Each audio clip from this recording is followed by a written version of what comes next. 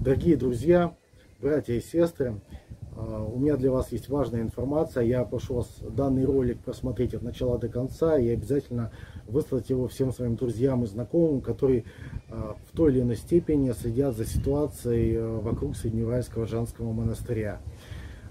Вчера, после того, как на моем канале было опубликовано две видеозаписи, на одной из которых схигумен Митрофан выражает свою поддержку схигумену Сергею Романову в обличении им еретиков и коммунистов и раскольников внутри Русской Православной Церкви, а также рассказывает о том, как церковная администрация все более отдаляется от э, верующих людей. На втором видеоролике уже сам отец Сергий обличает очередную ложь представителей Екатеринбургской епархии касательно обучения детей э, на территории Среднеуральского женского монастыря попытку очередной раз манипулировать э, мнением общественности и средств массовой информации со стороны епархиальных структур таким образом. А также рассказывает о том, как в свое время была обобрана, ограблена, по сути, а, икона святых царственных мучеников, с которой в большом количестве были сняты золото, платина,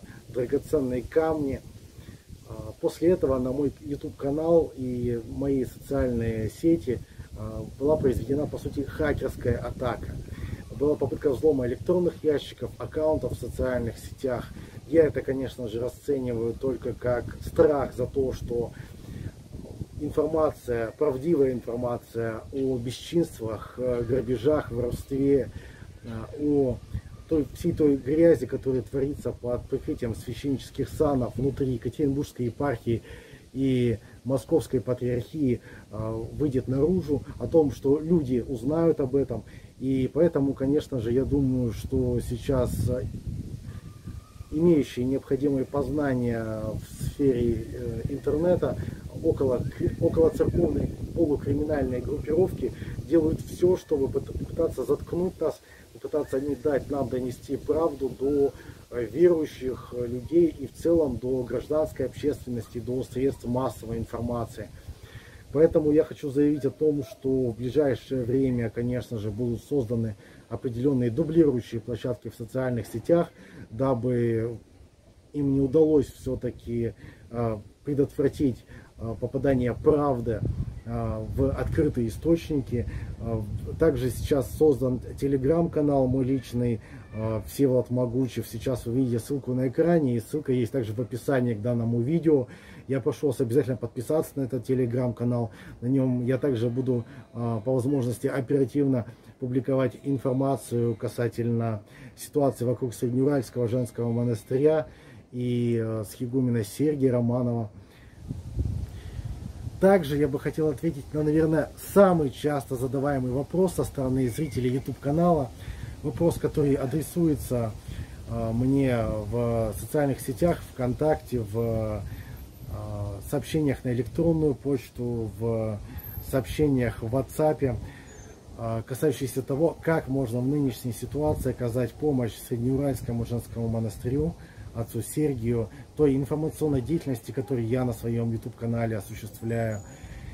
Ну, во-первых, я бы хотел попросить вас о молитвах. О молитвах за Среднеуральский женский монастырь, его прихожан и паломников, за самого схигумена Сергия Романова, за пожилых э, людей и онкологически больных людей, которые находятся на содержании у монастыря, за монашествующих, за том числе детей, которые, и их семьи, которые остались без средств к существованию, которые живут, обучаются, а, на территории Среднеуральского женского монастыря и которых сейчас пытаются использовать в качестве инструмента оказания давления на схигумена Сергея Романова, а, представители светской церковной власти, что я считаю абсолютно аморальным и бездуховным а, с их стороны.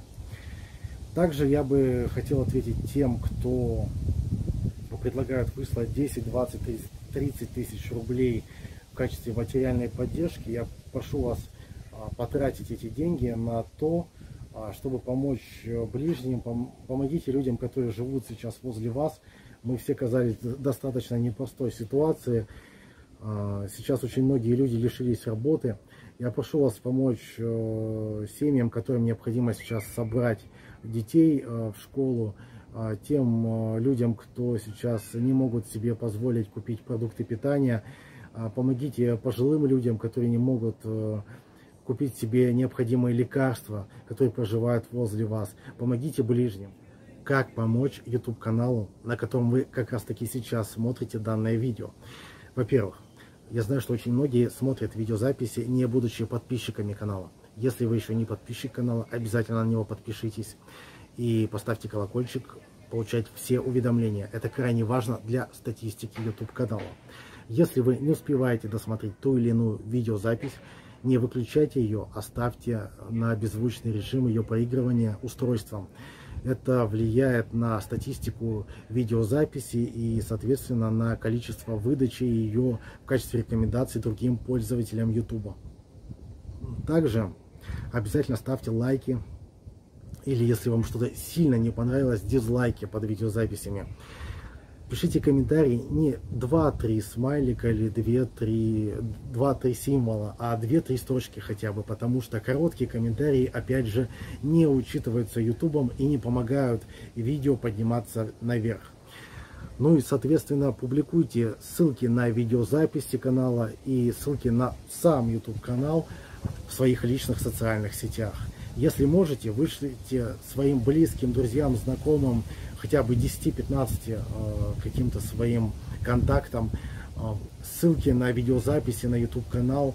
Э, тем, кому интересна тема ситуации вокруг Садюральского женского монастыря и вокруг в целом русской православной церкви, внутри русской православной церкви, которая сейчас складывается. Пусть люди ознакомятся с той информацией, которая здесь публикуется. А закончить я бы хотел той фразой, который я заканчивал выпуски своих передач на телеканале Крик ТВ. А на этом у нас на сегодня все. Все обязательно будет хорошо, наши дорогие зрители. Даже не сомневайтесь.